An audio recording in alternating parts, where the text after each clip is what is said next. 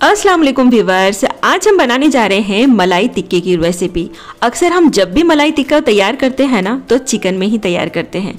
लेकिन आज हम चिकन के बदले मटन में तैयार करने वाले हैं, यानी मटन मलाई टिक्का बनाने जा रहे हैं।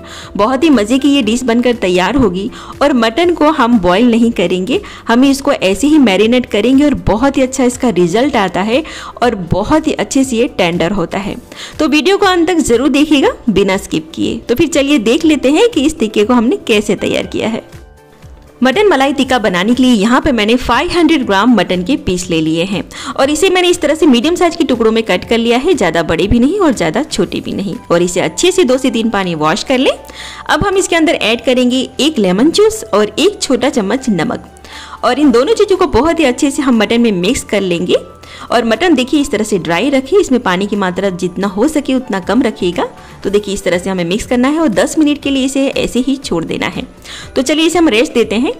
तो अब हम इसका मसाला तैयार कर लेते हैं। तो सबसे पहले एक बाउल में यहाँ पे मैंने अमूल की फ्रेश क्रीम ले ली है। और इसे हम दो बड़ी चम्मच यूज़ करेंगे, आप चाहे तो मलाई का भी इस्तेमाल कर सकते हैं, लेकिन मोटी वाली मलाई का इस्तेमाल कीजिएगा, पतली वाली नहीं। तो देखिए, इस तरह से यहाँ पे मैंने दो बड़ी चम्मच भर कर मलाई ले ली है और इसे पहले मैं अच्छे से मिक्स कर लूँगी। मिक्स करने के बाद अब हम इसमें दही का इस्तेमाल करना है तो यहाँ पर मैंने ढाई ग्राम टंगा हुआ दही ले लिया है। पानी की मात्रा बिल्कुल भी ना हो, आप इस तरह से गाढ़ा दही का इस्तेमाल करें।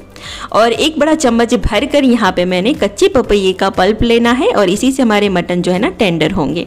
और एक बड़ा चम्मच भरकर अदरक लहसुन का पेस्ट। अब इसके अंदर ऐड करेंगे एक बड़ा चम्मच भरकर बॉयल ऑनियन का पेस्ट ऑनियन ले और इसे थोड़ा सा बॉईल कर ले, ताकि बहुत ही अच्छा टेस्ट रिलीज़ होता है। अब हम इसके अंदर ऐड करेंगे काली मिर्च का पाउडर इसे मैंने दरदरा सा कूट लिया है, एक चम्मच भरकर है। अब साथ में हम आठ से दस हरी मिर्च लेंगे और इसे इस तरह से मैंने चॉप कर लिया है, लंबे टुकड़ों में इसका पेस्ट नहीं तैयार करना है। अब साथ में हम इसमें ऐड करेंगे कसूरी मेथी। एक चम्मच इसे हाथों से थोड़ा सा रफ कर लेंगे तो बहुत ही अच्छा सा फ्लेवर जो है ना वो रिलीज़ होगा। अब नमक हम एहतियात से इसमें ऐड करेंगे क्योंकि हमने मटन में ऐड किया है। अब यहाँ पे एक चम्मच बटर को मेल्ट कर ले और इसमें दो लौंग, दो इलायची, दो दालचीनी के टुकड़े और एक छोटा एक इंच जायत्री का टुकड़ा मैंने इसमें रफ करके ऐड कर दिया था ताकि खड़े गरम मसाले से ना बहुत ही अच्छा सा फ्लेवर लेके आता है और बहुत ही मज़ेदार हमारी डिशें तैयार होगी। तो उस तमाम चीज़ों को बहुत ही अच्छे से हमें मिक्स कर लेना है। मिक्स करने का ये रीज़न है ताकि हमने जो साबुत हरी मिर्च ऐड की है ना, उसकी जो स्पाइसीपन है ना, वो बैटर में आ जाए।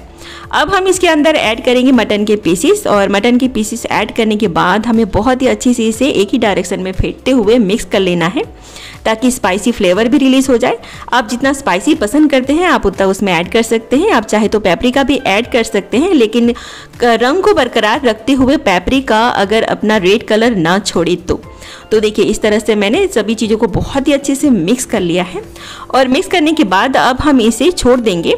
एक से दो घंटे के लिए। अगर आप ओवरनाइट भी रखते हैं ना तो बहुत ही अच्छे से ये टेंडर होता है, लेकिन अगर आपके पास वक्त नहीं है तो सबसे पहले एक घंटे के लिए आप ऐसे ही बाहर रखें और एक घंटे के बाद आप दो घंटे इसे फ्रिज में रख दें। तो बहुत ही अच्छे से ये टेंडर हो जाएगा, यानी तीन घंटे के लिए हमें इसे छोड़ देना है। तीन घंटे हो चुके हैं और मैंने इसे फ्रिज से बाहर निकाल लिया है। तो चलिए इसे एक बार हम चला लेते हैं। ये देखिए, बहुत ही अच्छा ये मैरिनेट हुआ है हमारे मटन। और जितने ही भी मैंने हरी मिर्च इसमें ऐड की है ना, आप चाहे तो इस वक्त इसे रिमूव कर सकते हैं या फिर आप इसमें ऐसे ही छोड़ सकते हैं। तो जितने भी हमने चीज़ें ऐड की थी, वो थिक ऐड की थी ताकि जो मेरीनेशन है ना, वो मटन में अच्छे से लग सके। अब यहाँ पे मैंने स्टिक ली है और स्टिक को मैंने आधे घंटे पहले ही पानी में इसे इस तरह से डीप करके रख लिया था ताकि जब भी हम इसे फ्राई करें ना तो ये जले नहीं। तो चलिए बस एक स्टिक लेते हैं और वन बाय वन सभी मटन के पीसीस को इसमें अरेंज कर लेते हैं। अगर पीसीस थोड़े से आपके इस तरह से बड़े हैं तो आप इस तरह से डबल करके भी इसमें अरेंज कर सकते हैं। बहुत ही आराम से ये लग जाते हैं और इतने अच्छे से ये टेंडर होते हैं ना कि फटाफट से ये अरेंज हो जाते हैं। तो आपका दिल चाहे जितनी आप इसमें मटन की पीसीस ऐड करना चाहे, बस आप उतनी ऐड कर सकते हैं। यहाँ पर मैं स्टिक को पूरा भर दे रही हूँ। तो देखिए इस तरह से पूरे स्टिक को हम इस तरह से कर लेंगे और इस तरह से करते हुए हम सभी स्टिक को अरेंज कर लेते हैं। अरेंज करके फिर मैं आपको इसे शो करती हूँ कि देखिए किस तरह से तैयार होता है। तो यहाँ पे देखिए मैंने सभी स्टिक को अरेंज कर लिया है और स्पाइस मैंने अलग से कर लिया और जितना बैटर बचा है ना फ्राई करते समय इसमें हम ऐड कर देंगे। अब आपके पास दो तीन ऑप्शन है, अगर आप चाहे तो इसे ओवन में भी बना सकते हैं, या फिर आप इसे बारबेक्यू भी कर सकते हैं, या फिर आप मेरी तरह इसे फ्राई पैन पे भी बना सकते हैं। तो चलिए देख लेते हैं कि इसे मैंने कैसे तैयार किया है और इसे फ्राई पैन पे हम कैसे तैयार कर सकते हैं। अब यहाँ पे मैंने एक फ्राई पैन लिया है और इसमें एक बड़ा चम्मच ऑयल को मैंने इस तरह से गर्म करके पूरे फ्राई पैन में इस तरह से फैला दिया है। ऑयल हमारा गर्म हो चुका है। आप चाहे तो बटर का भी इस्तेमाल कर सकते हैं या फिर आप इसे चर्बी में भी बना सकते हैं, उसमें भी बहुत ही अच्छा रिज़ल्ट आता है। तो बस वन बाई वन करके मैंने इसे अरेंज कर दिया है और गैस की फ्लेम आप मीडियम कर लेंगे। और मीडियम आँच पर ही इसे हमें कुक करना है और जैसे ही एक साइड अच्छा कलर आ जाएगा, हम इसे टर्न करेंगे।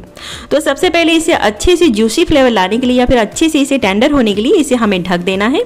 तो इसे एक मिनट के लिए हम ढक देते हैं और फिर मैं इसे आपको शो करती हूँ। एक मिनट के बाद चलिए अब हम इसे चेक कर लेते हैं। ये देखिए, पानी थोड़ा सा रिलीज़ होगा, लेकिन बिल्कुल भी घबराइएगा नहीं। ये अपने आप ही ड्राई हो जाएगा और बहुत ही सॉफ्ट हो जाएगा। जूसी सा फ्लेवर लेके आएगा। तो बस इसी पानी में ये बहुत ही अच्छे से कुक हो जाते हैं, क्योंकि हमने इसमें क्रीम और दही का इस्तेमाल किया है तो पानी रिलीज़ होगा ही। तो वापस से मैंने इसे ढक दिया और एक मिनट के बाद जब मैंने इसे खोला तो अब चलिए मैं इसे वन बाय वन इसे हम टर्न कर लेते हैं। तो वन साइड देखिए, बहुत ही अच्छे से कलर आ चुका है। और दूसरी साइड भी हमें इसी तरह से कुक करना है और गैस की फ्लेम हमें मीडियम ही रखना है। तो इसके अंदर एक चम्मच भरकर मैंने ऑयल ऐड कर दिया है और ऑयल ऐड करने के बाद हम वापस इसे ढक देंगे एक मिनट के लिए।